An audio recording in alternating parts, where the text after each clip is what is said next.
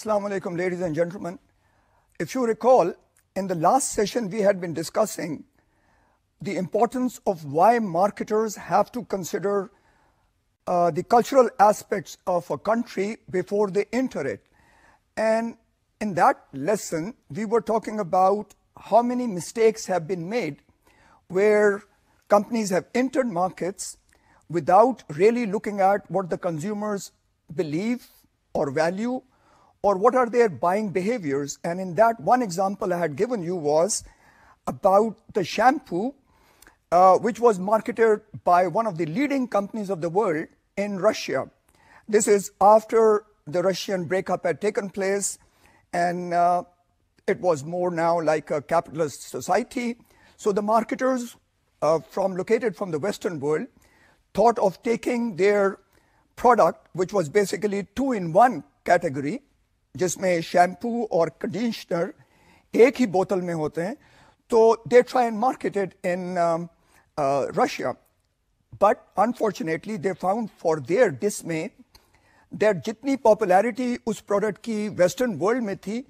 they could find it in Russia and the logic again was that they had missed out a very important consumer behavioural factor कि उस जमाने में Russian ladies uh, who were more concerned of showing affluence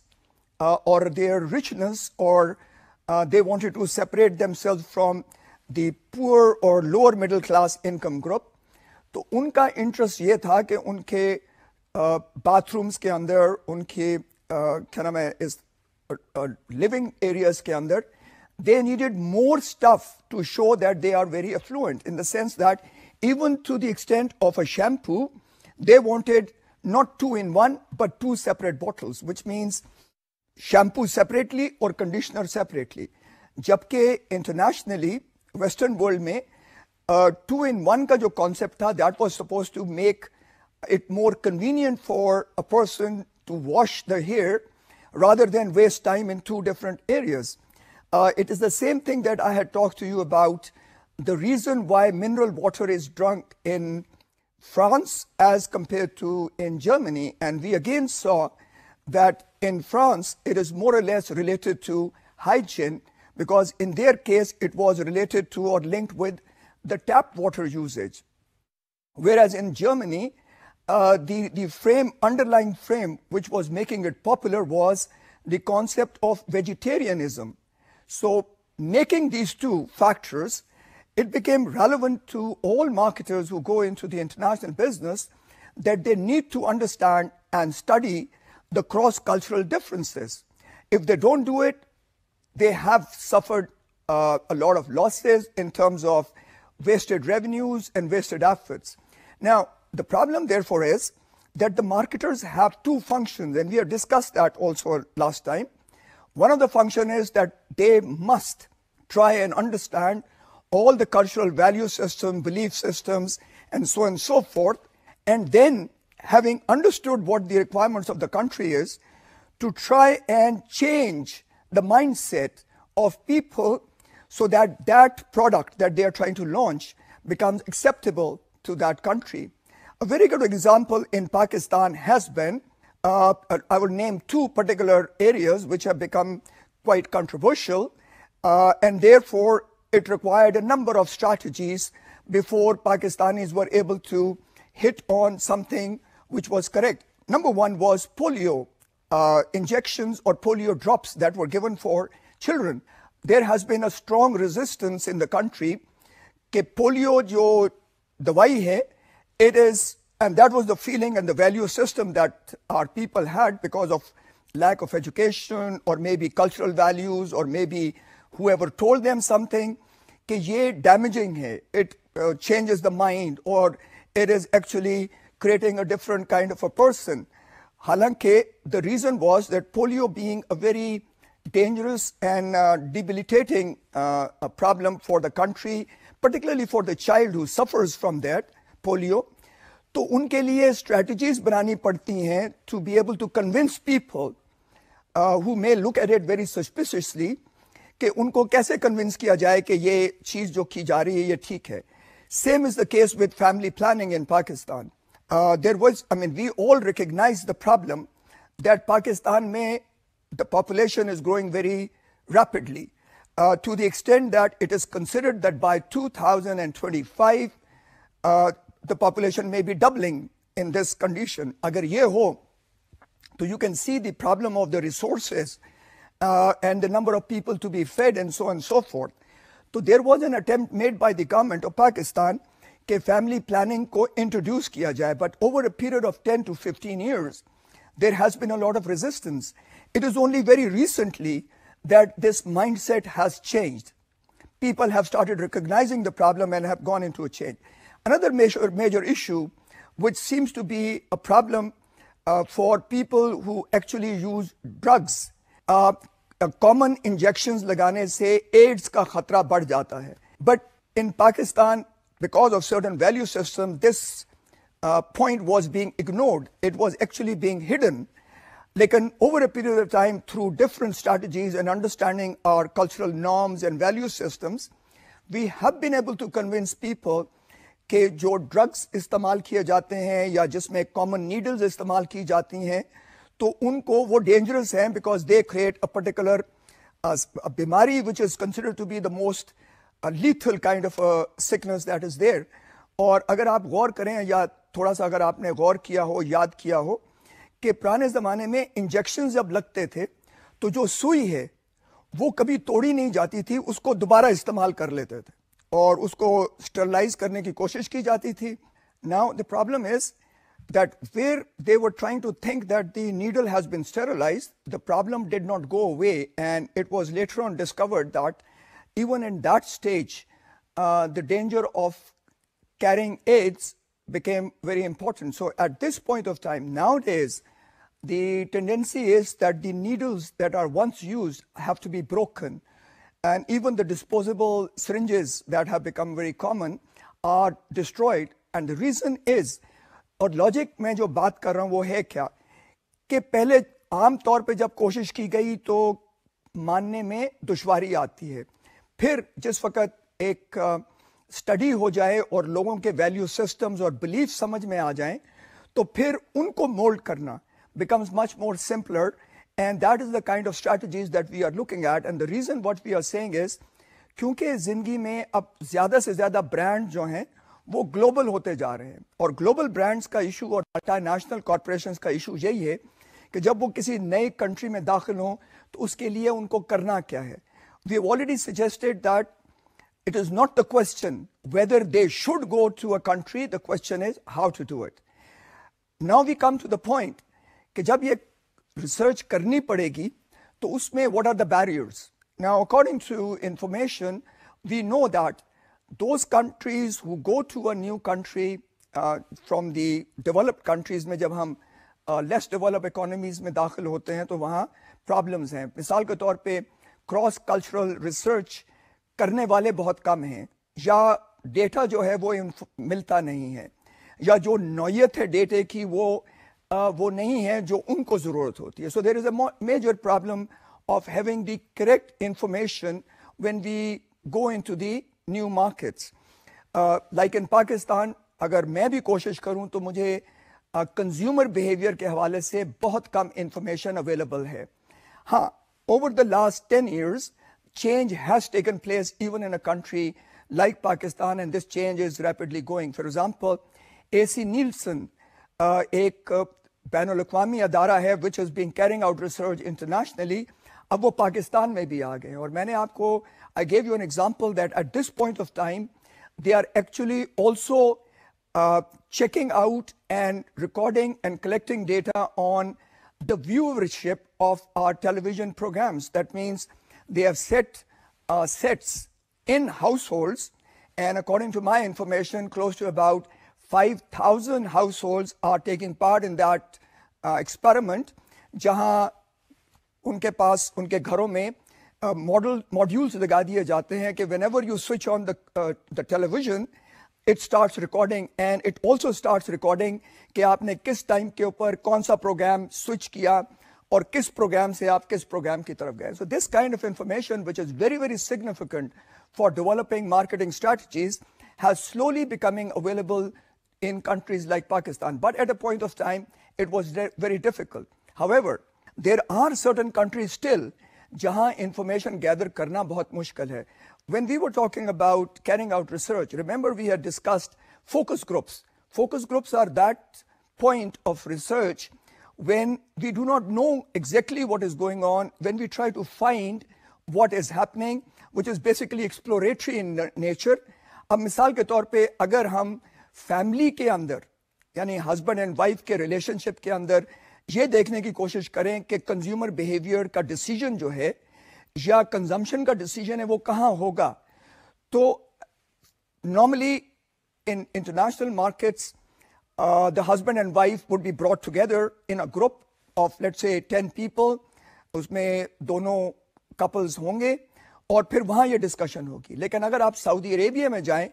तो this kind of a setting will become very very difficult because वहाँ आदमियों का और औरतों का बैठना is considered to be not the right frame not only that,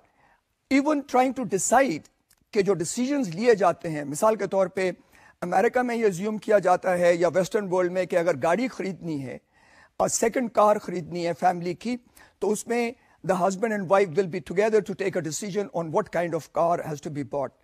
और अगर कहीं ट्रैवल करना है या टूरिज़्म के लिए कहीं जाना है तो again the joint decision will take place considering so many factors but अगर हम uh, एक ऐसे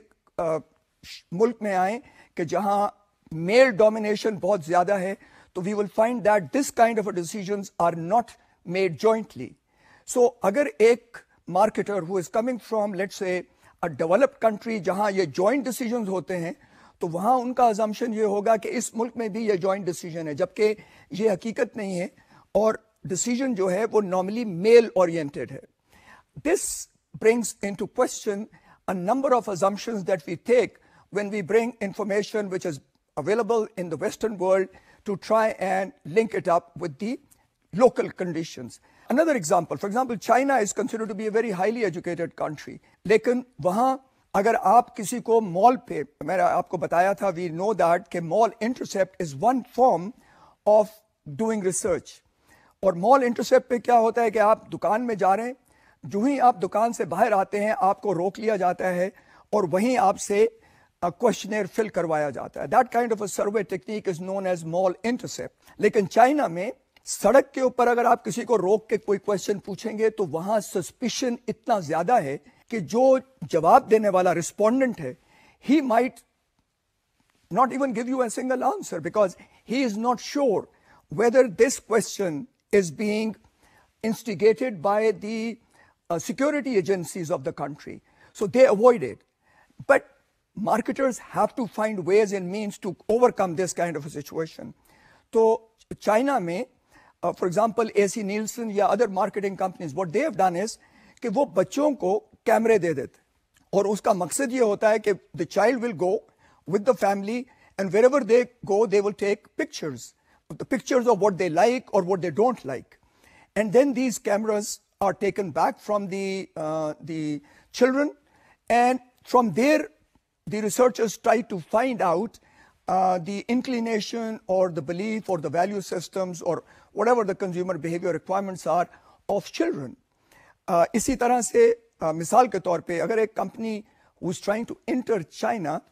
is not aware that China में by government law family is restricted to one child और आपने भी देखा है वी ऑलरेडी सीन इट कि फैमिलीज़ जहाँ एक बच्चा होगा, उस फैमिली का जो बिहेवियर है कंज्यूमर बिहेवियर है, वो टोटली डिफरेंट है from a family where there are three और four children because of the the requirement of the resources to be spread over all of these people. इसीलिए America China में it is suggested that close to 3 billion dollar are made available to children. ये one children family के अंदर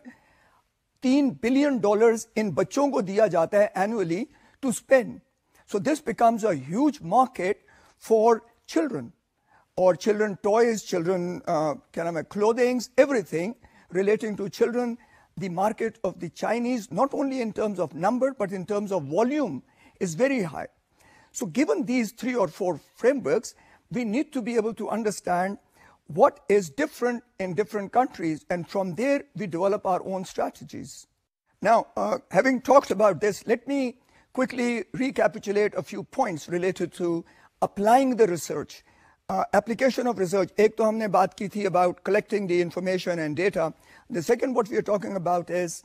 the application and the way we look at it. Survey uh, करने लगे हैं मिसाल के तौर पे अब सर्वे में uh, वही कंपनी ये सर्वे यूरोप में कर चुकी है let's say in UK and they have used certain words or certain terminologies have been used in that survey document. अगर वही सर्वे डॉक्यूमेंट बिल्कुल उसी तरह से लाया जाए पाकिस्तान में तो there is a very major problem that those words may not even be understood अगर वो अंडरस्टैंडेबल नहीं है तो लॉजिक कहता है कि जो इंफॉर्मेशन जनरेट होगी, वो बायस्ड होगी या उसके अंदर कोई ना कोई कॉम्प्लिकेशन होगा which we can not therefore use secondly जो मेजर इशू है, मैंने आपसे, हमने याद होगा आपको कि we one been talking about social segmentation now social segmentation में we talked about three segment five segment seven segment framework मिसाल के तौर पे the upper upper the middle sorry upper middle then middle lower middle and then lower lower अब ये एक normal international framework है which is use regularly लेकिन middle में कौन आएगा? उसके, क्या नाम है अर्निंग करेक्टरिस्टिक्स क्या होंगी? फैमिली में वो रहते कैसे हैं all these factors may be different मैंने आपको बताया था कि नॉर्मली इंटरनेशनली मिडिल इनकम के जो लोग हैं, वो फैमिली रूम में टेलीविज़न नहीं रखते. Normally they put it in the living rooms जबकि अपर अपर जो हैं, उनके बेडरूम्स में टेलीविज़न पाए जाते हैं. अब अगर वही कंडीशन लेकर हम पाकिस्तान आ जाएँ तो we will never be able to find upper upper जहाँ टेलीविज़न सेट जो हैं वो किसी की फैमिली के अपने यानी के कमरों में पड़े हों। ना this makes a big difference in how to assess the requirements of a family Pakistan में it's quite possible because of our social life and style that we keep all kinds of things in a place where we all gather together because that's the cultural frame uh, in the majorly, I mean, living in the same uh, family uh, area, which is called extended families. तो चाहे वो families बहुत high class या not really high class, but upper middle में भी हों, तो उनके characteristics उन families में जहाँ uh, we do not live in extended families and we live in individualistic areas, तो उसमें बहुत फर्क होगा. So this is another major issue that would be coming up uh, for various reasons. Third issue जो सबसे बड़ा बनता है, वो है कंजम्पशन पैटर्न का, कि हम क्यों किसी चीज़ को कंज्यूम करते हैं। I gave you an example McDonald in international market is normally use for people who are in a hurry they do not have time to waste so they go for a quick lunch and they just take a take away and move out of that place so McDonald में take away का जो concept है वो बहुत high है even those people who sit there look for fast food कि जितनी जल्दी सर्विस होगी उतनी जल्दी हम खा के we go back to the job लेकिन पाकिस्तान में that is not the conditionality Pakistan में it's a social gathering framework where the family अगर कोई मेहमान भी आएगा बाहर से आ, मिसाल के तौर पे गाँव से आए हैं तो वो भी फैमिली को लेके मैकडोनल्ड में जाएँगे या के में जाएँगे because it's kind of a social gathering frame and not a call convenience frame so ये जो चीज़ें हैं, ये भी फ़र्क होंगी। So if I as a part of the McDonald assume that people eat only in fast foods because they are busy तो I may be making a big mistake and that mistake will be what will count against my interest इसी तरह से when we look at other framework of products that are available and what are the benefit that we look for we find there are a lot of difference मिसाल के तौर पर credit card. Uh, credit card ka use. Internationally, it is again a very convenient thing, but in Pakistan or wahan, mera khayal mein, every person, including a laborer, will have a credit card because that's the way the system has evolved. Like in Pakistan mein, it might become a status symbol. So if somebody has a card, it's considered to be of a higher symbol or, or high symbolic nature, whereas in the other country, it is a very common thing that to have happen. इसी तरह से if you look at uh, other decision making constituents of a family, which we have already discussed and I told you about, uh, let's say uh, buying a car. In Pakistan, it's totally a man or a family head's decision, whereas in the Western world, it might be a joint decision. And if you recall uh, an example that I'd given you where research was done, or वहाँ भी this was a a with in major a country for example जब उनसे पूछा गया, एक hotel chain थी जो tourist इंस डेवलप कर रहे थे and they wanted to put tourist inns all along the country तो जब उन्होंने ये सवाल पूछा एक फोकस ग्रुप में like I told you the focus group was composed of couples तो पूछा गया कि डिसीज़न कौन लेता है when you are travelling from one city to the other city कि रात कहाँ ठहरेंगे और खाना कहाँ खाएँगे during the while you are travelling तो most of the time in the focus group the information that was generated was कि ये जो ड्राइवर है या जो हस्बैंड है, वो ये डिसीज़न लेता है. So keeping that in mind obviously research requires like I already told you that you don't just look at the face factual information given to you you try and investigate a little bit more अब जब उन्होंने investigation कैसे की कि कुछ couples से 15 to 20 उन्होंने कहा कि हम आपकी गाड़ियों में कैमरे लगा देंगे and we will record all your trips so it became quite normal क्योंकि कैमरे लगे हुए थे over a period of time the family forgot के कैमरा है but the recording was taking place and it was discovered that all along the route people were traveling, the decision which inn to stay uh, when I'm talking about in is कि जो रात को आप travel कर रहे हैं and then you want to stop somewhere over and you start again in the next morning, all the decisions were made by the women, that is the lady. और खाना कहाँ खाना है this decision was again taken by the lady and it was not the man's decision even though the information was given totally differently अब वहाँ research की गई the women were the decision makers so far as where you stop when to stop and where to eat. अब यही decision अगर हम उस अजम्पन को लेके पाकिस्तान में आ जाएं तो it could be possible that we may be making a big mistake. So we need to be able to make sure that we are very correct in how we will analyze the market conditions and then proceed from there. Last and final, I've already told you कि research conditions या expertise जो available है उसमें बहुत problem है. So I've already mentioned to you कि जब हम segments बनाते हैं तो we need some clustering techniques where we try and homogenize, homogenize the whole system uh, to be able to determine what are the factors which are critical. We need to carry out factor analysis. But ये कितनी knowledge available है एक company में becomes a very strong question mark. और उसी वजह से we find that there are number of issues that come out of it. Now, after talking about the research framework, let's move in towards the strategic uh, approach. अब strategic approach international marketing और international multinational corporations के लिए एक बहुत common problem है वो ये है कि should they adopt a globalised strategy or should the strategy be totally localized or there should be a mix of the two मैंने आपको बताया था कि there is a new word that has been introduced in the uh, the marketing international marketing concept which is called glocal which is global but operate local. So a combination of the two has been brought into position. Uh, और इसकी दोनों के पीछे जो वजूहत हैं वो बड़ी सिंपल हैं कई रिसर्चर्स का ये कॉन्सेप्चुलाइजेशन है कि दुनिया में cultural convergence is taking place that means people are tending to behave more or less in the same form. और इस हवाले से I gave you an example of the teenage market अब जो टीन एज मार्केट है वो internationally uh, is becoming quite knowledgeable about high-tech items and since they have internet available and they are more or less uh, people who constantly browse the internet so unki jo knowledge hai ya unke jo cultural frames hain ya value systems hain they have been pushed to converge toward a particular area isi tarah se when we look at uh, the foreign media the international movies that are coming in, which is one frame of bringing cultures into another country, तो हम देखते हैं कि कई चीज़ों में convergence हो रही है. But on the other side, we also have a very strong school of thought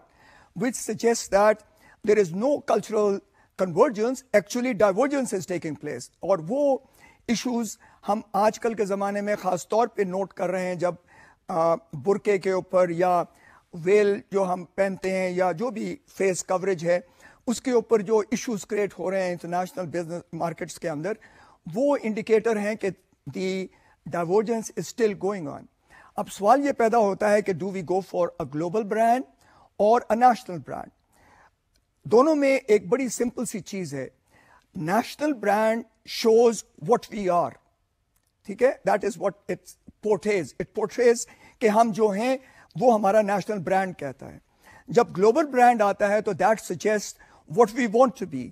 so when we adopt global brand we are actually adopting something which we want to be but if we constantly adopt national brand we are saying this is what we are so this distinction has to be look that in a very important framework इसी में packaging का colours का और बहुत सी issues हैं जो क्या नाम है इस मामले में very critical and we have to constantly think about ways and means to negotiate with this complex system. Uh, अब मिसाल के तौर पे फिलिप पाथिक फिलिप पाथिक एक घड़ी है जो सिर्फ़ वेरी हाई एलीट जो uh, लोग हैं वो खरीदते हैं। It's not very cheap I mean it's something like four thousand dollar और फाइव थाउज़ेंड डॉलर की वो घड़ी है because it's consider to be a jewellery watch अब उन्होंने क्या किया है? They have tried to mix up the two things by what that their advertising communication का जो मैसेज है, वो एक ही है। लेकिन उन्होंने क्या किया? फॉर वेरियस कंट्रीज़ उन्होंने लोकल लैंग्वेज को इस्तेमाल किया है।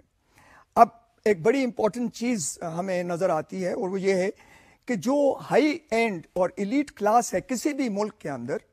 वहाँ English would be a common language. That is the assumption. That is the uh, assumption that we make that all uh, elite class from any country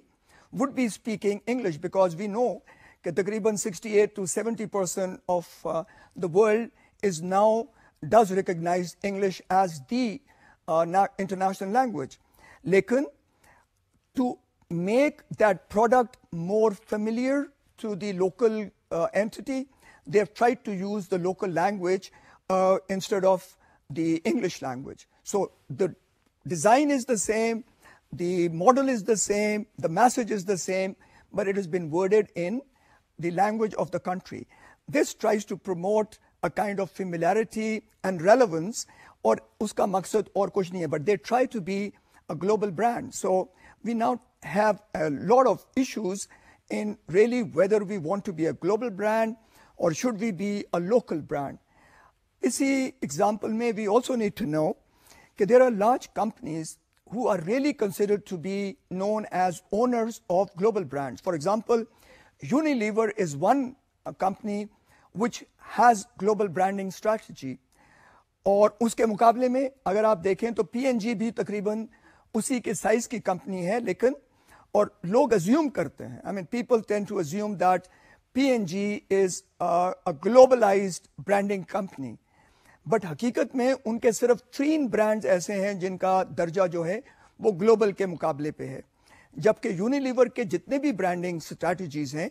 वो globalise हैं आपको example दूँ very simple example is their anti dandruff shampoo अब उसका अगर आप model देखें ये यूनिलीवर का प्रोडक्ट है तो उसका मॉडल देखें तो उसके ऊपर जो मॉडल है वो रोनाल्डो है And Ronaldo is a Portuguese uh, number one football player. So they are using a global uh, celebrity to be able to promote their brand. Compare that with PNG brand of uh, Head and Shoulder. Now, Head and Shoulder, even though it's a global brand, लेकिन पाकिस्तान में शाहिद अफरीदी उनका model है और वो इसको promote करता है this is a very simple example of how global brands uh, are, are on one side and how other companies tend to try and bring in localized content for their global uh, products. Situation or this may, like I told you, there is a number of benefits into it. There are a number of uh, negatives into it. Simple example, Ronaldo ka jo image hai, agar recognized hai internationally, और लोग उसको पहचानते हैं तो उसका इस्तेमाल becomes very logical because it creates economies of scale. And चूँकि ये फुटबॉल फाइफा फुटबॉल इंटरनेशनल जो मैचेस हो रहे थे तो उसके लिंक से Ronaldo became an important model and it he is recognised around the world but P&G में लोकल मार्केट के अंदर शाहिद अफरीदी को इस्तेमाल किया गया and it gives you a very strong connotation so keeping this in mind we try and see कि कौन सी companies ऐसी हैं who are really globalising their brands and कौन सी ऐसी हैं जो अपने ब्रांड्स को लोकलाइज करने की कोशिश करती हैं I give you an example like PNG PNG के तीन brands are considered to be globalised number one is their female hygiene का एक प्रोडक्ट है ऑलवेज या whisper that is given connotation of world wide global brand और उनका जो messaging है, उनके जो भी कुछ भी है, वो टोटली ग्लोबल है. Second is their Pantene which is again kind of a global brand और उनके अंदर जो मॉडलिंग की कंडीशनैलिटीज़ हैं, वो तकरीबन इंटरनेशनल मॉडल इस्तेमाल होते हैं. But Unilever is considered to be the company और लाइक से जिलेट अगर आप गौर करें तो जिलेट का जो स्लोगन है वो है The best a man can get now उसका जो मॉडल है वो अगेन बैकम है become the football player from the UK Uh, obviously, is recognized in America because he's been playing club games there. So, companies tend to apply these concepts around the world. One company which is now trying to push itself from a local framework to a global framework is Frito-Lay, which is the company which is owned by Pepsi Cola. और आपने देखा होगा पाकिस्तान में भी अब less जो है जो पोटैटो चिप्स है वो तकरीबन is less known in the same context as it is known in the international world. Uh, उसकी वजह कि उन्होंने स्ट्रेटजिकली जो अपने वेरियस प्रोडक्ट्स थे uh, जो उन्होंने मुख्तलिफ़ कंपनियाँ खरीदी हुई थी जहाँ पोटैटो चिप्स बनते थे तो उन्होंने उन सबको अब एक सिंगल फ्रेम पे कन्वर्ट कर दिया है जिसके नाम से वो लेस के नाम से चलते हैं। और उसके मुकाबले में पीएनजी का प्रोडक्ट है प्रिंगल और प्रिंगल का जो ग्लोबलाइज कॉन्सेप्ट है, वो दुनिया में एक ही है। उसमें जो, उसका जो सिंबल है, वो अगर आपने कभी प्रिंगल का बॉक्स देखा हो, उस बॉक्स के ऊपर गोल शक्ल में एक आदमी जिसकी मूछें बड़ी तनी हुई हैं that is the symbol that they have used around the world and it is recognised as a very important global brand. Okay, now we are going to be looking at framework और reason क्या है? हम ये देखना चाहते हैं कि global brands के अंदर फ़ायदे क्या हैं और लोकल ब्रांड्स के अंदर उसके हवाले से क्या सिचुएशंस क्रिएट होती हैं। हमें मालूम है कि जो रिसर्च की गई है उसमें यह पता चला कि ग्लोबल ब्रांड्स में ये तीन कैटेगरीज इस्टेब्लिश की गई हैं। Number one it is considered to be कि उनकी क्वालिटी हमेशा अच्छी होगी। वजह क्योंकि वो दुनिया के हर मुल्क में मिलता है तो लॉजिक कहता है कि उसकी क्वालिटी उस स्टैंडर्ड की होगी कि हर मुल्क में उसको सेटिस्फैक्शन या उसको आ, क्या नाम है it is given the proper reception on terms of its technology number two global myth जो हम जिसको बोलते हैं वो ये है कि जब भी हम ग्लोबल ब्रांड को इस्तेमाल करेंगे तो ये ब्रांड जो है ये किस्म का आइडियल ब्रांड बन जाता है तो ग्लोबल ब्रांड का एक फ्रेम ये भी है it creates a benchmark for every other kind of a is available. Finally, it is assumed, and I'm talking about these are all perceptions, huh? it doesn't mean that these are the true pictures, but हम perceive ये करते हैं कि जो global brand के owners हैं वो उनकी सोशल रिस्पॉन्सिबिलिटी का जो कॉन्सेप्ट है वो बड़ा हाई है अब यहाँ चूँकि I am adding a new concept to your word terminology This word comes from corporate social responsible behavior. Companies normally law के अंदर रहते हुए काम करती हैं लेकिन हम ये भी अज्यूम करते हैं कि किसी भी मुल्क में अगर कोई प्रॉब्लम है या इशू क्रिएट हो रहा है,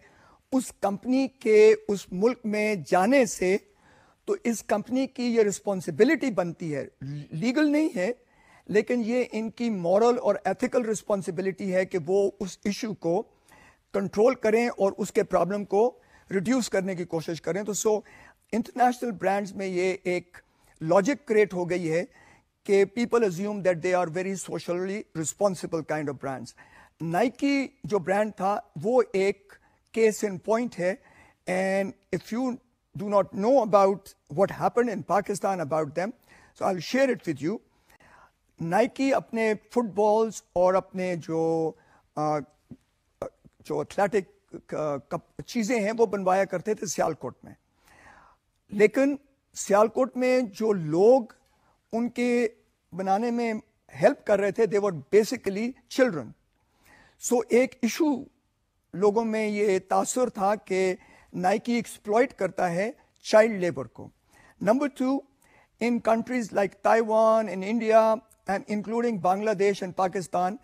ये अजम्पन था कि ये चूँकि पैसे बनाने के चक्रों में है तो इनका जो आ, लेबर को जिस तरह ये डील करते हैं वो बहुत ही नेगेटिव है। यानी कि हम वो वर्ड इस्तेमाल करते हैं स्वेट शॉप्स स्वेट शॉप्स का जो कॉन्सेप्ट है ये पुराने इंग्लैंड से निकला हुआ है जब शुरू शुरू में इंडस्ट्रियलाइजेशन हुई थी तो लोग पैसा बनाने के चक्रों में लोगों को एक छोटे छोटे कमरों में बिठा के उनसे सुबह, शाम, रात भर काम कराते थे। Conditions were very very bad और मकसद सिर्फ़ ये था कि लेबर को पैसा कम से कम दिया जाए प्रॉफिट ज़्यादा से ज़्यादा लिया जाए। इस चीज़ को रखते हुए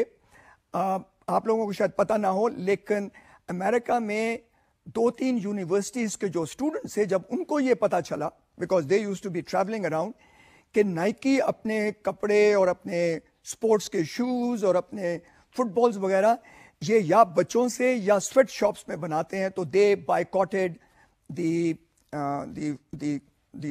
products of Nike उस प्रेशर में आके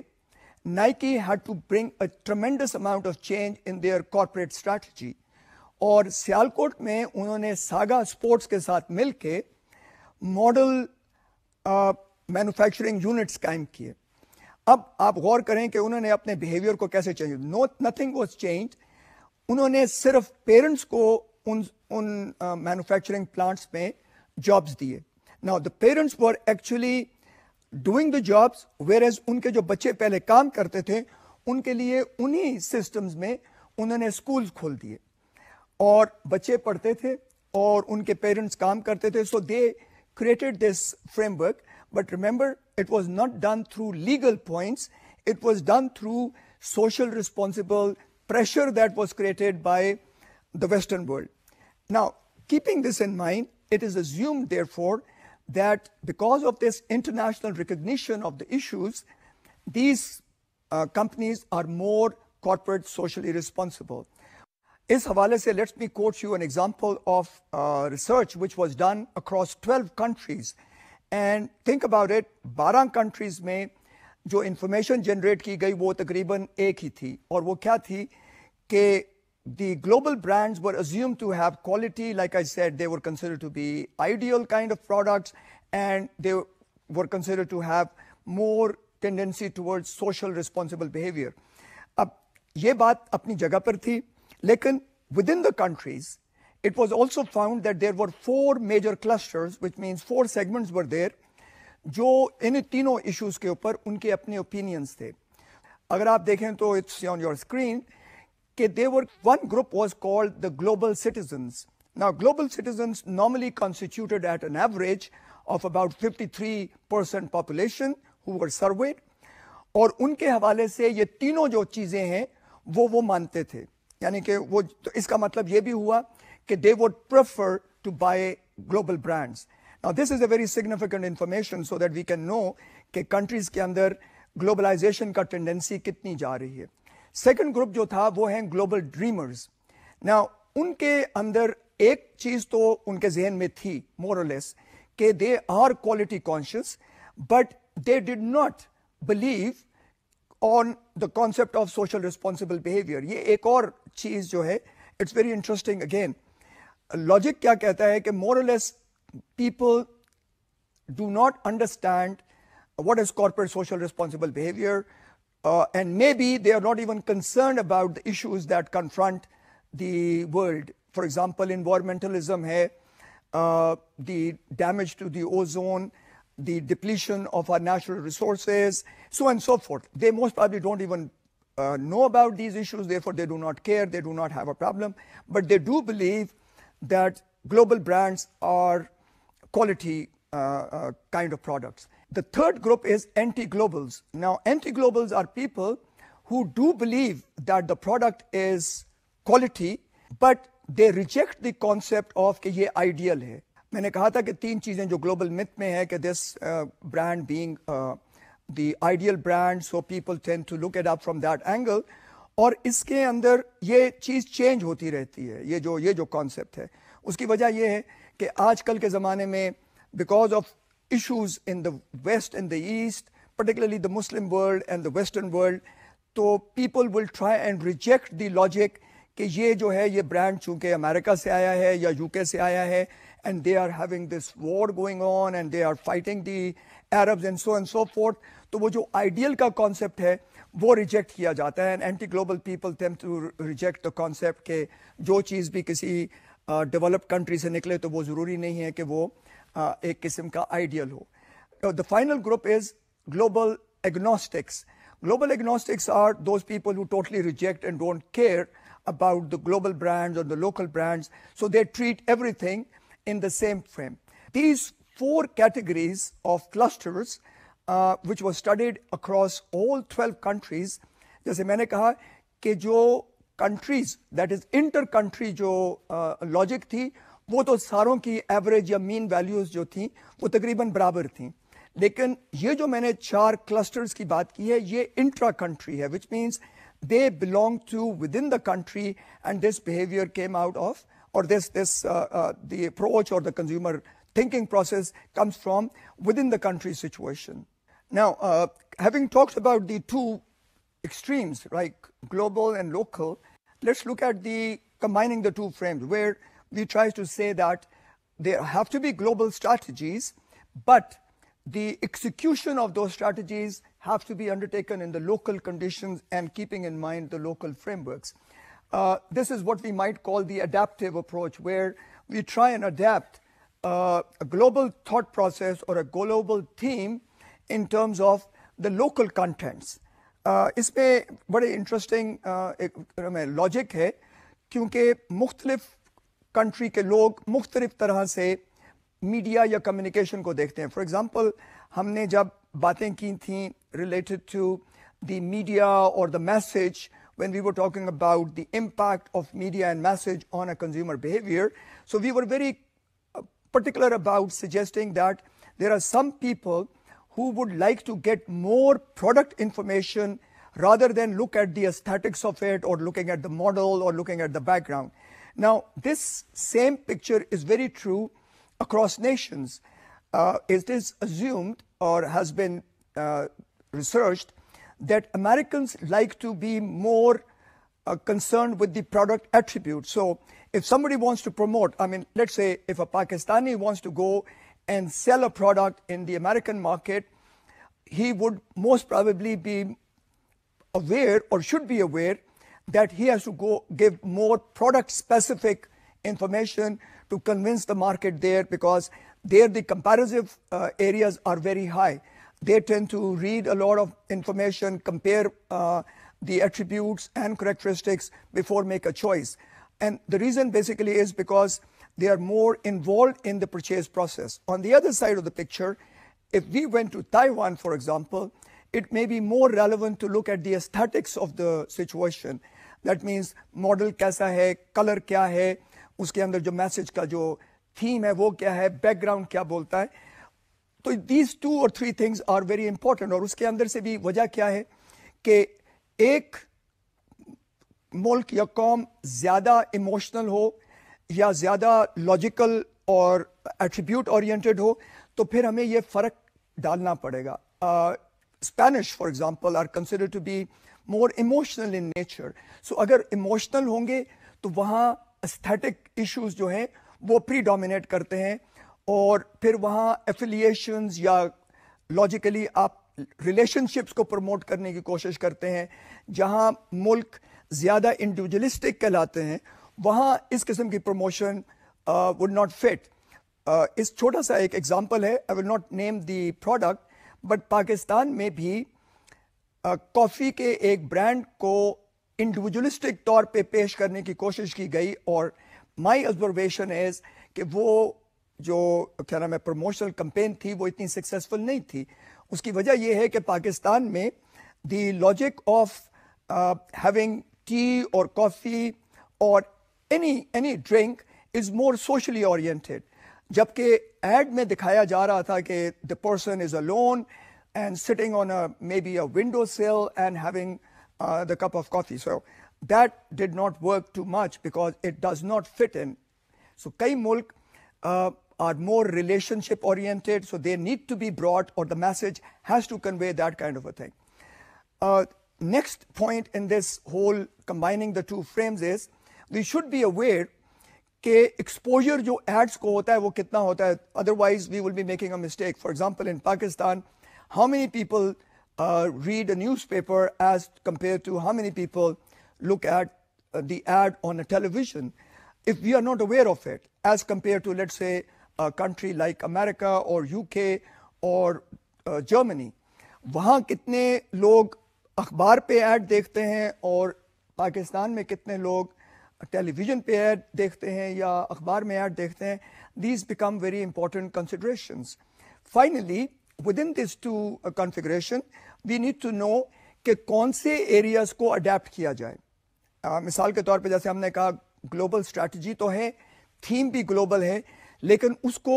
लोकलाइज कैसे किया जाए तो उसके लिए चंद फ्रेमवर्क्स हैं और वो अगर आप देखें on the screen they are number one local language so पहला चीज़ जो की जाती है लोकलाइजेशन या उसके अंदर एक किस्म का लोकल टेस्ट देने को, वो उसको लोकल लैंग्वेज में ले आए। Number two localise the product और लोकलाइज द प्रोडक्ट जैसे मैंने अभी एग्जांपल्स दी, कि आप उसको रिलेशनशिप्स के थ्रू लाना चाहते हैं, या इंडिविजुअलिस्टिक उसको फ्रेम देना चाहते हैं, इसके मदद से वो प्रोडक्ट लोकलाइज हो जाता है। आपने देखा होगा कई जगह पे एड्स हैं जहाँ टेलीविज़न देखने में तो whole family is trying to जज कि टेलीविज़न कहाँ लगना है। और कहीं सिर्फ़ एक शख्स अपने ही फैमिली रूम में या अपने ही ड्राइंग रूम के अंदर उसकी लोकेशन डिटर्मिन करता है और वो एड में भी दिखाया जाता है। तो these two major problems are critical और उसके जो एट्रीब्यूट्स हैं फैमिली गैदरिंग के हवाले से हैं या इंडिविजुअलिस्टिक लॉजिक में है वो दूसरी चीज़ है उसको हैंडल किया जाता तीसरा है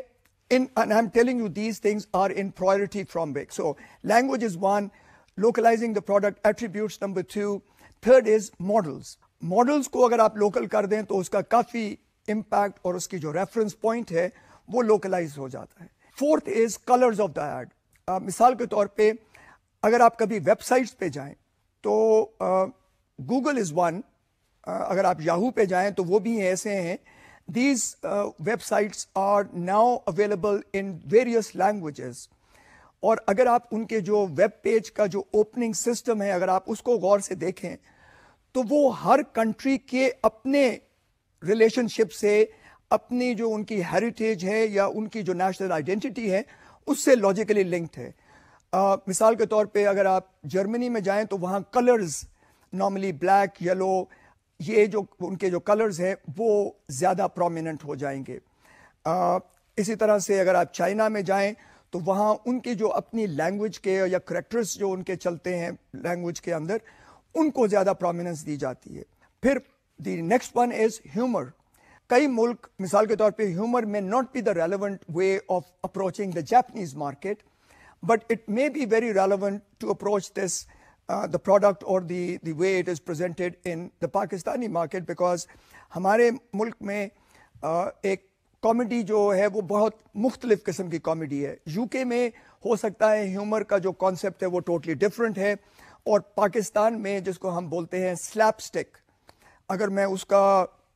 उर्दू तर्जमा करूँ तो जो भांड करते हैं वो उसकी फ्रेमवर्क बन जाता है। बट ये इन दोनों में बहुत फ़र्क है so we need to be very careful when we are using this. The second last, therefore, is the scenic background that people have. They can put different kind of heritage frameworks. Uh, Pakistan में मिसाल के तौर पे whenever we look at it, we will find the Lahore fort as the background. So that becomes another very important category of uh, uh, developing or localizing the frame. Finally, it is the music, and that is obviously not the least, but a very important framework. When you change the music and you bring it the local content, you normally tend to be able to give it a localized trend, uh, uh, taste. At this point, I think I will stop here because the next are very important. Um, the next session will be very important. We will be talking about various strategies that we try and incorporate with all this knowledge, and we will tend to have uh, a number of frameworks in which we can develop strategies and we have some grids to show so that we can have a very clear picture of how a multinational can apply these in its own strategy building. Uh, finally, quickly we go over whatever we had been discussing up till now in the cultural, uh, cross-cultural framework. We had discussed the importance of cross-cultural frame or analysis, making sure that we do not make a mistake of assuming that something that we have been successful with will also be successful in another country. And the reason is very simple because like in a country itself, we find a lot of subcultures that when we extend it over uh, international boundaries, we'll find the cultures will be different. But debate has been going on whether we should have a globalized brand or a local brand or a combination or should we adopt a global brand to the local conditions in terms of its uh, implementation strategies? Keeping these two things in mind, we have been discussing what are the contents or what the logic of using a global brand because we said global brands do give a message. Uh, we also talked about the various segments that are available within the country and therefore anybody who's coming from outside and trying to launch a product in a country, whether Pakistanis are going to America or Americans are coming to Pakistan or the Western world is coming here, whatever they do, they need to have a clear-cut picture of what kind of people would they be finding within a society. And that would lead us to do further research. But like I said, there are a lot of problems in carrying out research depending on the type of data that you require, what kind of data is currently available, are there people who are capable of doing this kind of research? And I gave you an example that at this point of time, syndicate research is available in the country in the shape of AC Nielsen, and there are a number of companies which are moving in the country to carry out this research, including Pricewaterhouse and so on and so forth. But still, there are issues because even though we have broader pictures, we need to still have a very clear idea about the consumers because our messages, the way we will create the image, the way we will put it in a particular media, all relate to the way we will succeed or fail with a product. So with this, I uh, will end this lecture and then we will pick it up in the next session. Thank you very much. Allah Hafiz.